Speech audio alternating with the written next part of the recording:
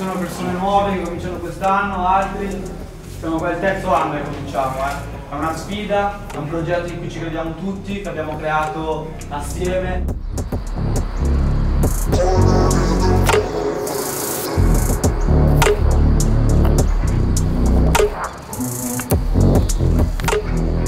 Gli obiettivi di quest'anno ragazzi sono, sono alti, per questo campo dove giochiamo noi oggi è il campo nostro di casa, per i prossimi 15 anni noi giochiamo qua.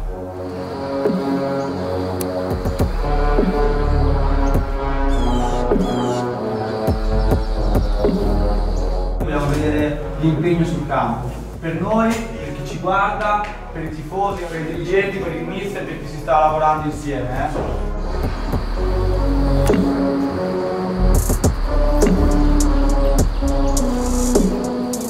Noi dobbiamo lavorare su quelli che vanno in campo, ma lavorare anche su quelli che non andranno in campo. Perché il gruppo noi lo manteniamo solo a questo livello qua, se no si sfalda.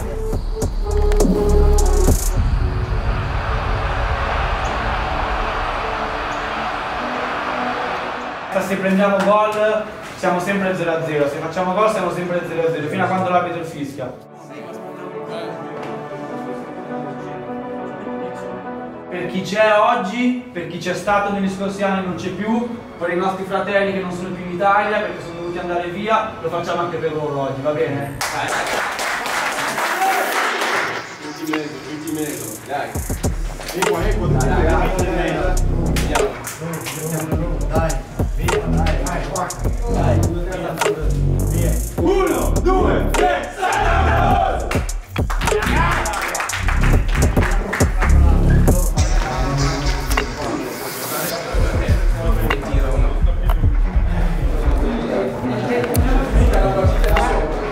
Il Sant'Ambrosio nel 2018 comincia come la prima squadra eh, composta interamente da migranti, quindi rifugiati richiedenti asilo, eh, a iscriversi a un campionato FIGC a Milano.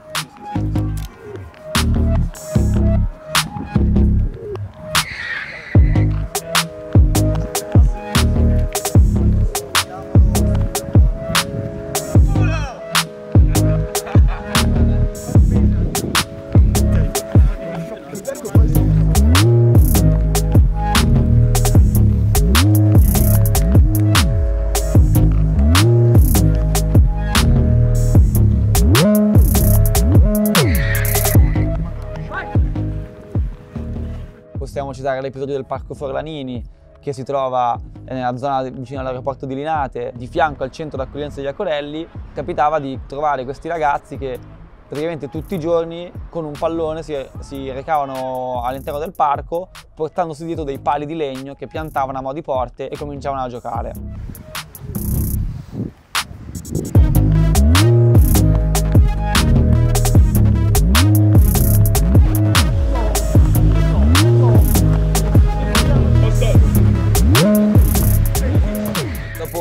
Diverse volte che questi ragazzi sono stati visti, gli è stato chiesto prima magari di giocare insieme, poi di fare qualche amichevole e poi prima di conoscere qual era la loro storia.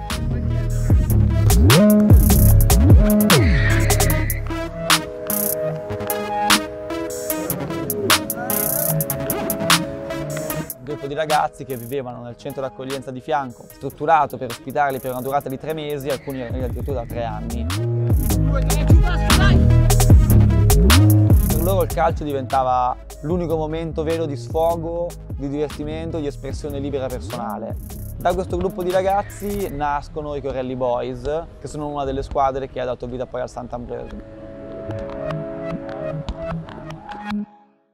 Oggi, all'inizio della terza stagione, la squadra non è più composta interamente da migranti, ma è composta anche da ragazzi italiani che anche loro erano stati esclusi da quello che è il calcio.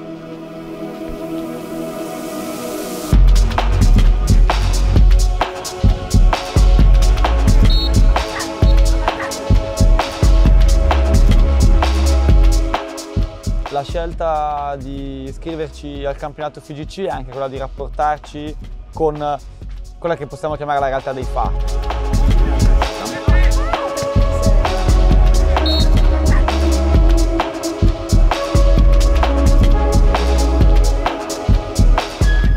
arriviamo che c'è anche tanta gente che, che conserva, se non addirittura fomenta pregiudizi che portano alla discriminazione. Essere in FGC vuol dire anche scontrarsi con queste realtà. Oh, arbitro, arbitro!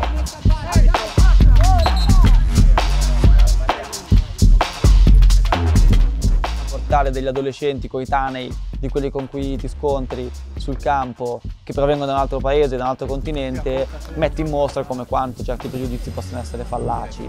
Certi slogan politici eh, non trovano poi concretezza in un campo da calcio dove il pallone gira e dove quando si esulta si esulta tutti insieme, indipendentemente se chi ha segnato è arabo, è africano, è italiano o est europeo.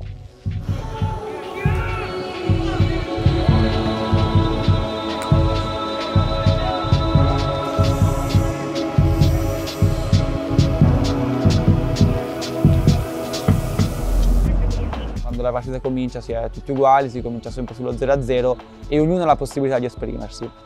Come se ogni calciatore fosse un artista che trova sul campo una tavolozza bianca all'interno della quale si può esprimere.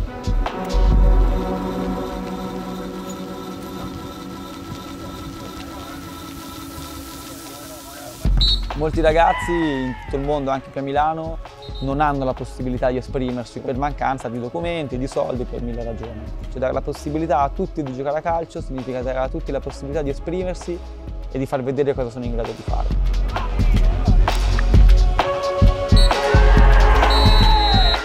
Togliamo un euro a nessuno dei giocatori, forniamo tutto il materiale, ma soprattutto prendiamo tutte le decisioni in maniera orizzontale. Ogni giocatore è socio della squadra, così come lo sono i tifosi e i dirigenti.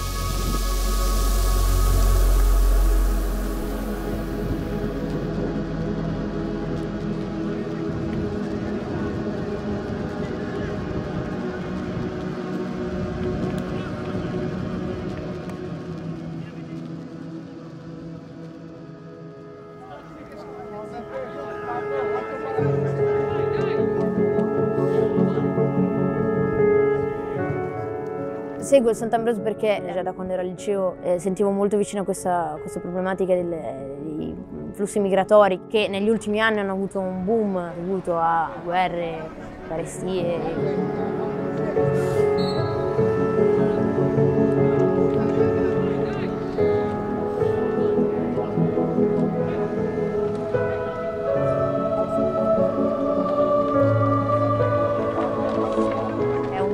Modo di viversi il calcio completamente diverso, che non è quello del calcio moderno, che non è il calcio della Serie A, dove non sono ammessi insulti razzisti, dove anzi l'essere tutti metici, l'essere tutti di un paese diverso è un valore aggiunto rispetto a quello che è la normalità.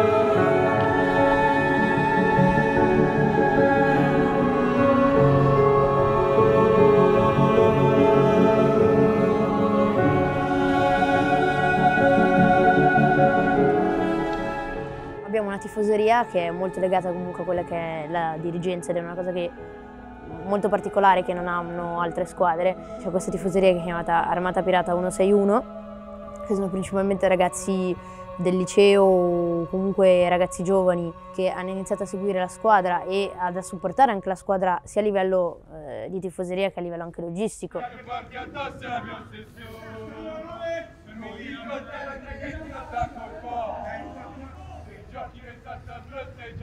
Thank you.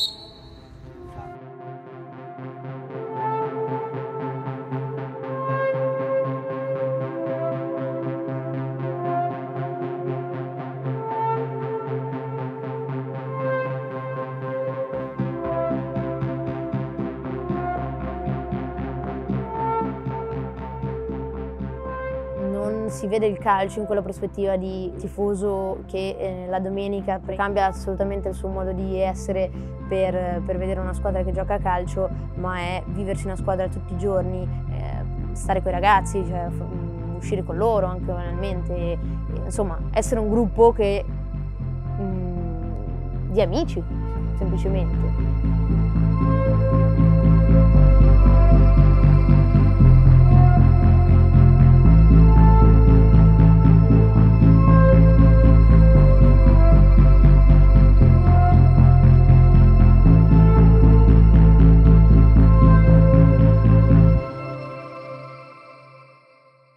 Ricevo tanti messaggi dei tifosi del Sant'Ambrosio, soprattutto quelli di Armata Pirata, che sono sempre con noi, ovunque e per sempre. Durante la partita i miei tifosi mi danno il coraggio quando li sento gridare sui spalti. I tifosi degli avversari, quelli non, non mi interessano molto perché non li, non, non li ascolto, io mi concentro sul mio, sul mio calcio.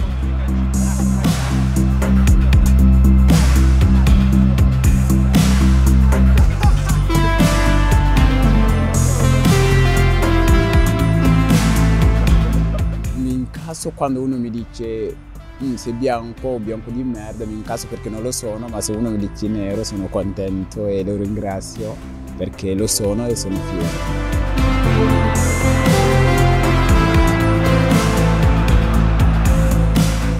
Penso che il razzismo è un grande problema nella società, è una malattia mentale, io la penso così, un razzismo è uno che non sta bene.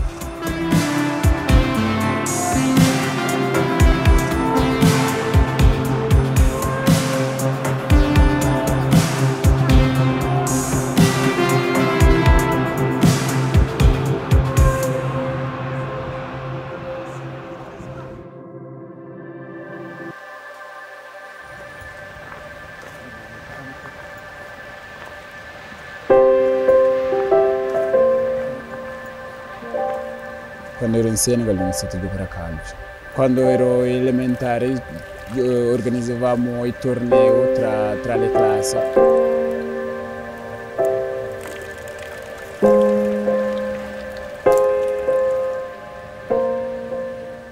Mi è piaciuto subito perché poi guardando le partite in tv eh, mi ricordo l'Italia quando ha vinto il mondiale, mi piaceva anche Cannavaro come difensore centrale, mi ha fatto piacere il calcio.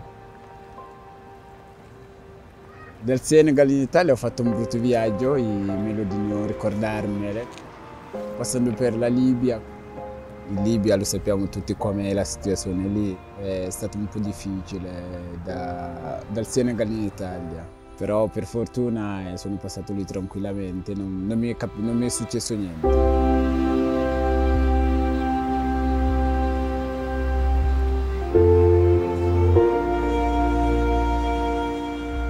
Senegal per eh, 17 anni, sono arrivato qua in Italia minorenni, ero in centro minorenni in Sicilia. Io ho fatto la scuola, terza media un anno. Poi mi sono trasferito a Milano, mi sono messo a giocare a calcio.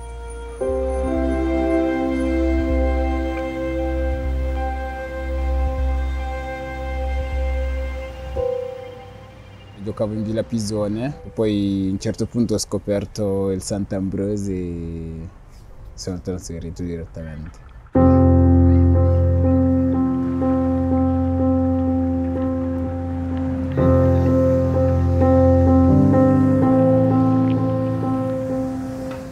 Lavoro come la sicurezza, il mio lavoro è la mia vita. Se non vado al lavoro mi sento, mi sento strano, perché senza lavoro un'altra vita.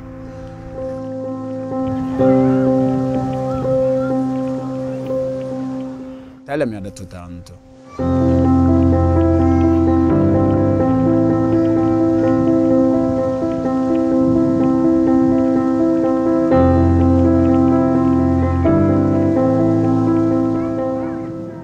Sento come un italiano, anche se non esiste un italiano nero, però chi lo sa quando sarò un professionista, chi lo sa se giocherò per l'Italia.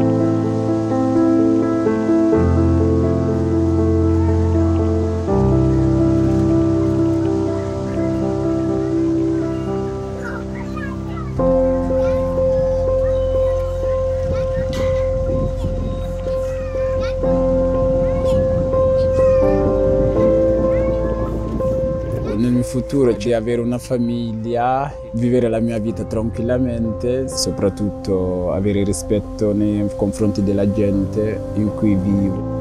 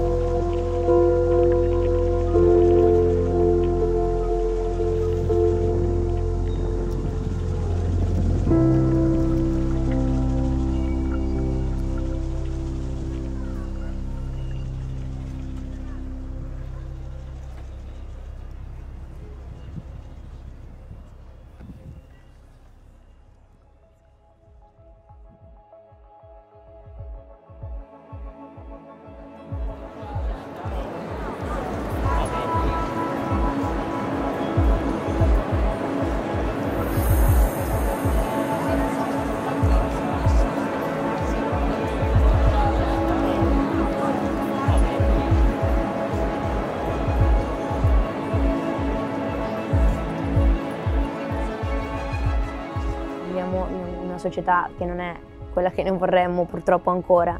Quindi eh, ci sono stati episodi, in particolare uno, in cui ci siamo dovuti un po' eh, scontrare a livello di, eh, di realtà con eh, squadre che hanno utilizzato il, il, colore della pelle dei nostri giocatori come, come un insulto.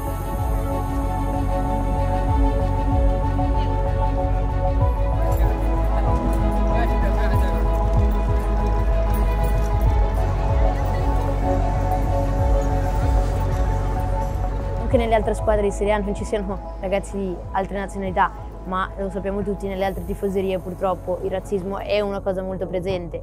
Abbiamo visto con ululati in campo, scimmiottamenti, eh, che purtroppo capitano, capita di vedere anche in terza categoria.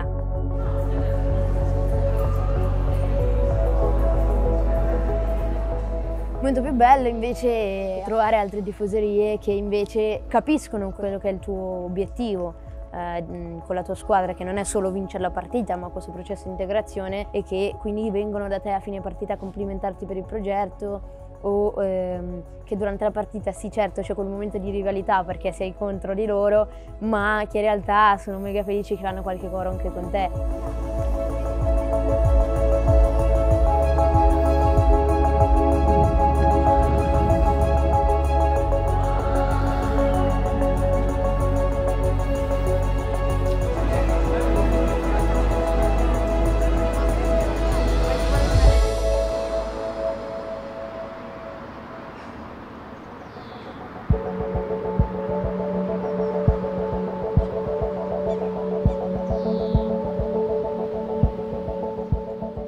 Per un ragazzo che nasce a Milano, in Italia o in qualunque parte del mondo, avvicinarsi al calcio è abbastanza facile.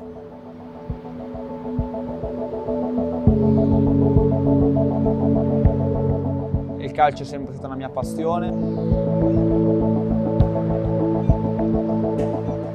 Crescendo e vedendo com'è come si è sviluppato il calcio moderno, cosiddetto, quindi sempre più legato a dinamiche di business, dove la passione conta sempre di meno ma contano più altri interessi, c'è stato un disinnamoramento.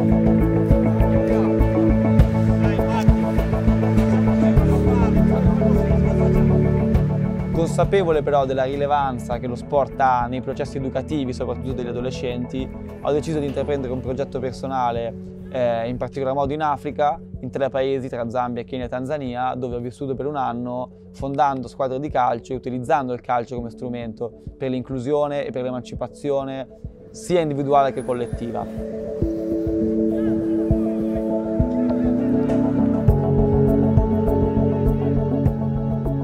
esperienza mi ha veramente fatto ritornare la passione per questo sport, sia giocato che non, e mi ha fatto veramente vedere come il pallone può essere uno strumento eh, in grado di unire, in grado di unire me stesso con realtà diverse, con lingue diverse, con culture diverse e anche di, come strumento veramente di emancipazione e di riscatto personale.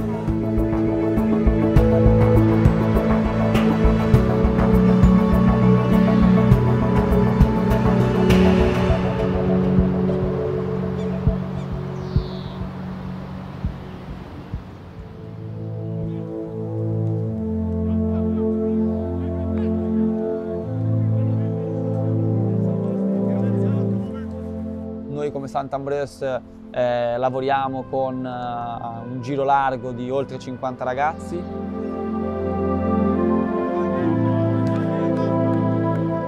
Eh, non tutti questi la domenica possono scendere in campo con noi.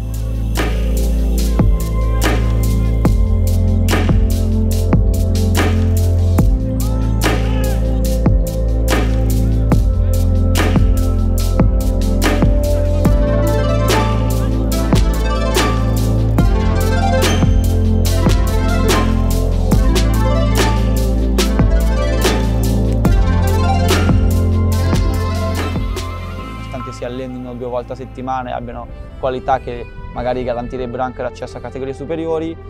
per via di documenti mancanti come per esempio la residenza o una carta d'identità o un permesso di soggiorno, magari non in periodo di validità, sono costretti a rimanere sugli spalti la domenica.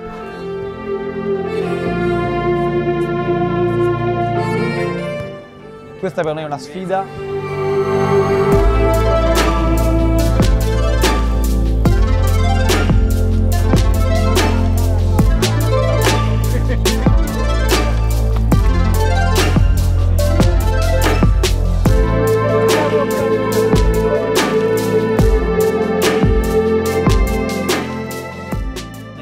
deciso di giocare in FIGC rispetto ad altre federazioni magari che hanno più disponibilità a passare sopra queste cose perché vogliamo mettere in mostra quelle che sono le contraddizioni anche della Federazione Italiana Gioco Calcio che eh, cerchiamo in ogni modo di contattare e di rendere consapevoli di facilitare il tesseramento di ragazzi giovani che semplicemente vogliono giocare a calcio.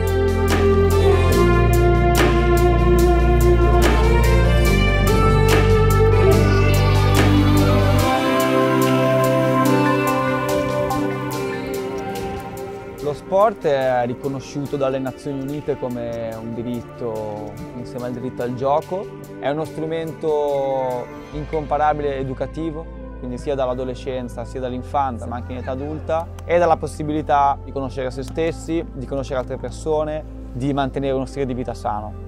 È un diritto e con quanto diritto deve essere garantito.